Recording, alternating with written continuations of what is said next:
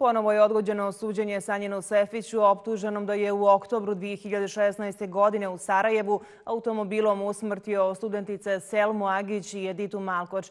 Samo pet minuta nakon što je suđenje počelo, sudac je ustanovio da Rusmir Karkin, advokat jednog od optuženih, nije prisutan.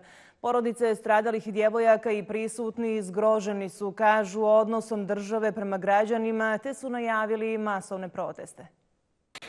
Po ko zna koji put Sanjina Sefića specijalna policija uvodi u sudnicu kantonalnog suda.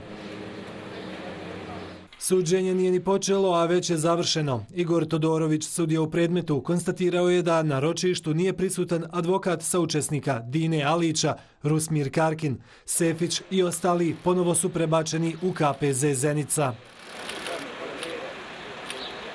Roditelji ubijenih djevojaka zgroženi ponašanjem advokata Karkina nisu mogli sakriti emocije.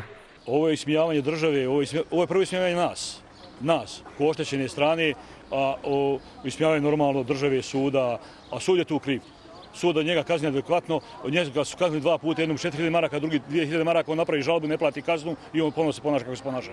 Znači jedno se on ponaša tako. Ja, ko je on u ovoj državi? Ko je? Ko je taj čovjek? Meni jasno nikako, ne mogu shvatiti, ne mogu ja sebi doći. A ranom zorom došao je iz Bugojna, kao i otac Edite Malkoč, koji je sinoć u jedan sat nakon ponoći krenuo iz Bosanske krupe. Postupak je mogao biti davno završen, kazala je advokatica porodica.